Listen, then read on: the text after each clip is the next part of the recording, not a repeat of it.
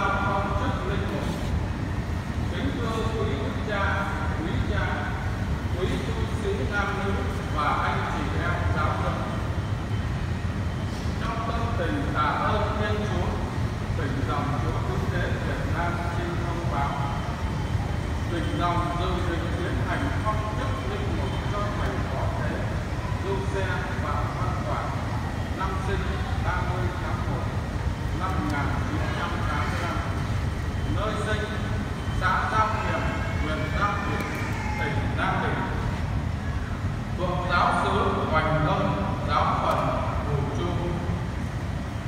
Nếu quý vị thấy kiến chất này có gì ngăn trở theo giáo luật,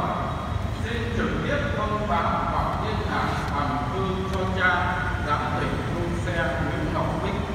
qua địa chỉ số 38 Kỳ Lộc, phường 9, quận 3, thành phố Hồ Chí Minh trước ngày 10 tháng 5 năm 2019. Kính xin quý đức cha, quý cha, quý tu sĩ nam nữ và anh chị em việc lòng cầu nguyện cho kiến trúc để thầy được chuẩn bị cách sứ đáng lãnh nhận hồng ân cao trọng này. Ngày 7 tháng 4 năm 2019 linh mục tu xe Nguyễn Ngọc Bích, giám định dòng số quý thế Việt Nam.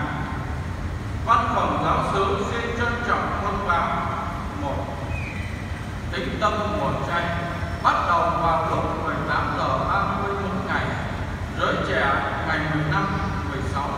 17 tháng 4 tức thứ hai, thứ ba, thứ tư hai năm lần thánh a thứ năm tuần thánh 18 tháng 4 18 giờ